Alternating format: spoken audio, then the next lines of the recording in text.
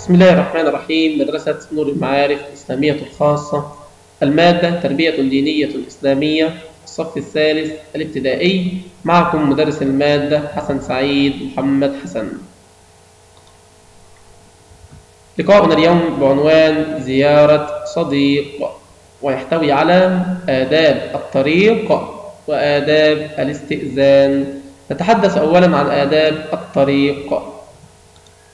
ذهب هشام ومصطفى لزيارة صديقهما محمود. وفي الطريق وفي الطريق رأى مصطفى بعض الأحجار الكبيرة كما نرى في هذه الصورة. رأى رأى بعض الأحجار الكبيرة في وسط الشارع فرفعها من مكانها إلى جانب الطريق. رفعها من مكانها إلى جانب الطريق. وهذا يعلمني شيئا. أنني إذا رأيت مثل هذه الحجارة أو مسمارا أو زجاجة مكسورة أو أي شيء يؤذي الناس أحمله من الطريق وأضعه في القمامة أو بجانب الطريق حتى لا يؤذي المارة حتى لا يؤذي الناس حتى لا يؤذي من يسير على الطريق. فهذا العمل فيه أجر وثواب عظيم من الله سبحانه وتعالى.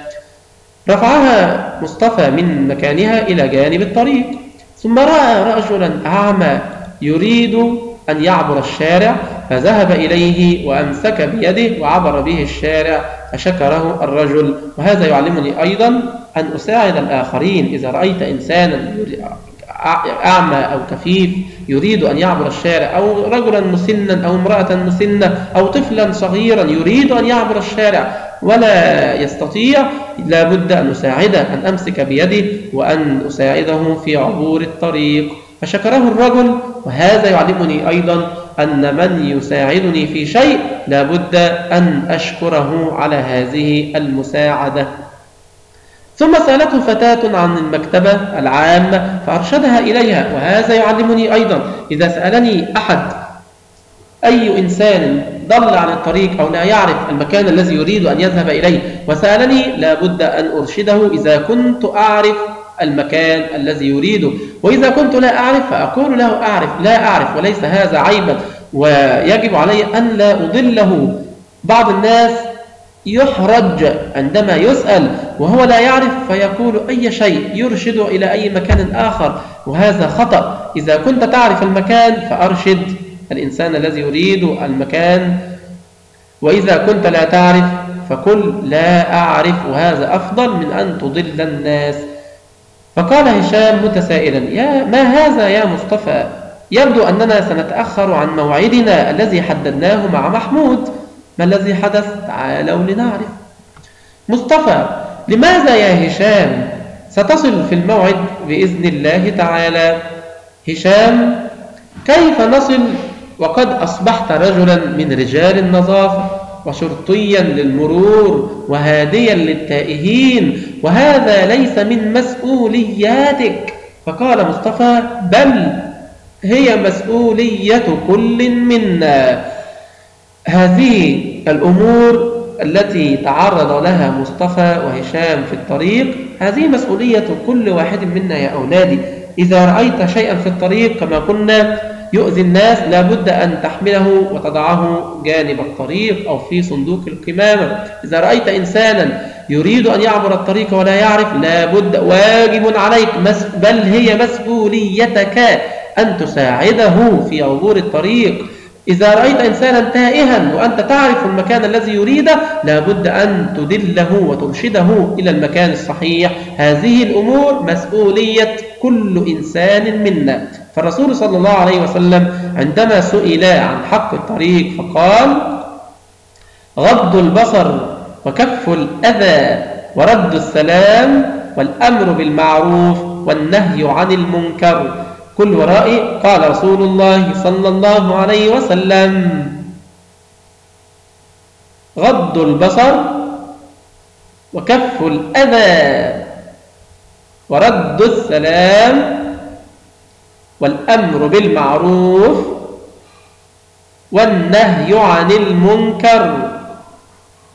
قال رسول الله صلى الله عليه وسلم. عندما سئل عن حق الطريق غض البصر وكف الأذى ورد السلام والأمر بالمعروف والنهي عن المنكر. غض البصر أي يجب عليك أن تغض بصرك.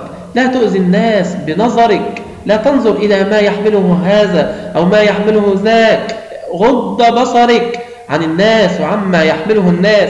وكف الأذى. يجب أن لا تؤذي الناس وأنت جالس في الطريق. إذا كنت تسير في الطريق لا تؤذي أحدا.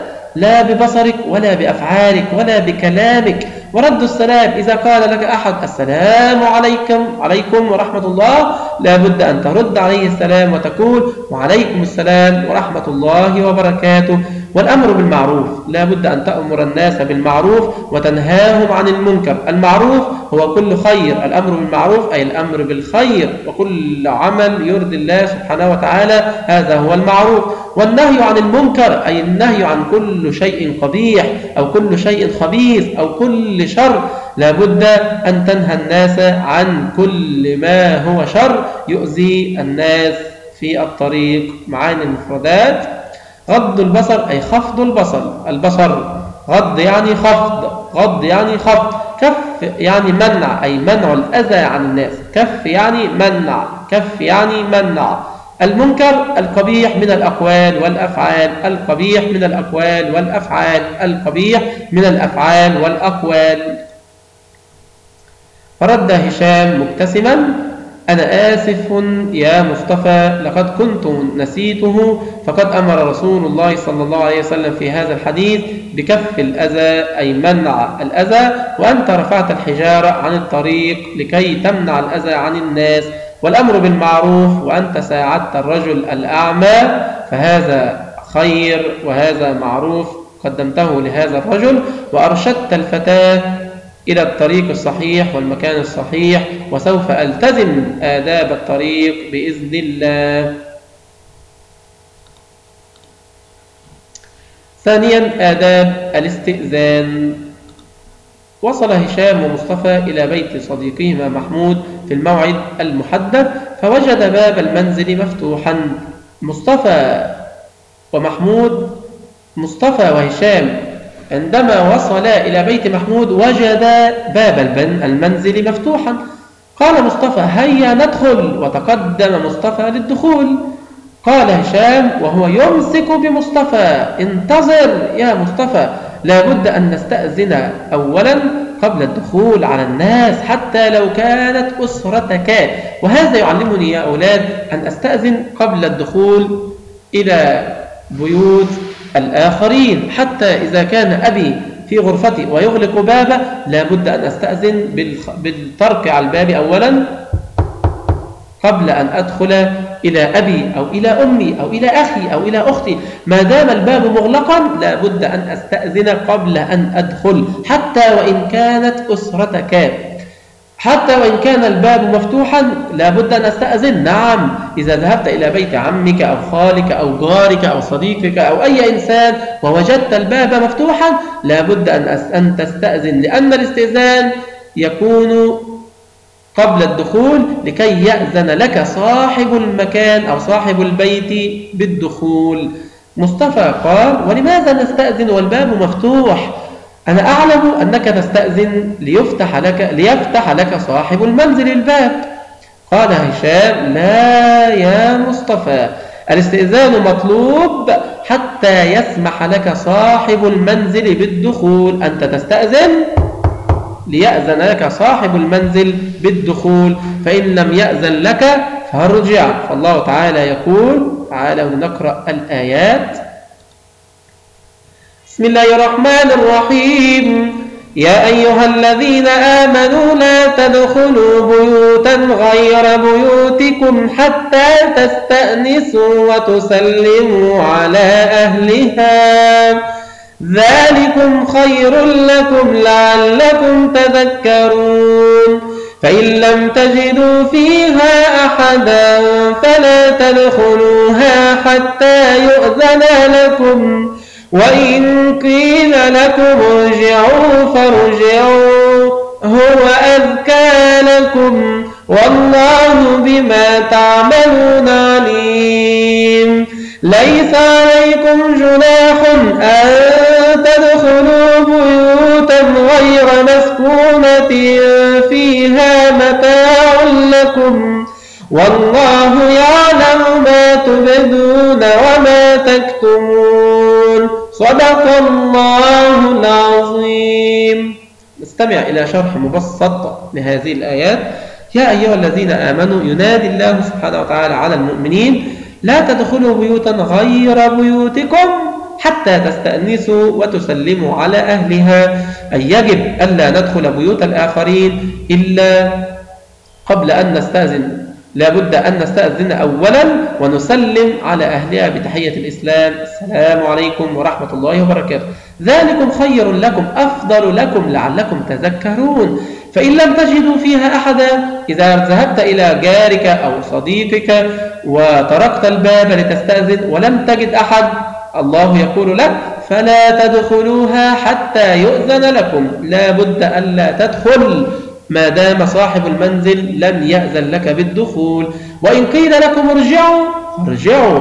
إذا قال لك صاحب البيت ارجع لا بد أن ترجع. ولا تحزن. ولا يضيق صدرك بذلك. قد يكون صاحب البيت أو صديقك هذا أو جارك هذا غير مستعد للقائك. أو عنده ظرف من الظروف أو عنده ضيوف لا بد أنه إذا قيل لك ارجع اعلم أنه لم يكن مستعدا للقائك. وذلك هو أزكى لكم يعني أفضل لكم. والله بما تعملون عليم. ليس عليكم جناح أي إثم ولا ذنب أن تدخلوا بيوتا غير مسكونة فيها متاع لكم. والله يعلم ما تبدون أي تظهرون وما تكتمون. معاني المفردات تستأنسوا تستأذنوا تستأنسوا تستأذنوا أزكى يعني أفضل وأطهر. أزكى يعني أفضل وأطهر. أفضل وأطهر. جناح اسم جناح يعني اسم جناح يعني اسم متاع منفعة. متاع يعني منفعة. تبدون تظهرون. تبدون تظهرون. تكتمون تخفون. تكتمون تخفون. فنحن نستأذن ثم نسلم على أهل البيت ثم ندخل بعد الإذن أو نرجع.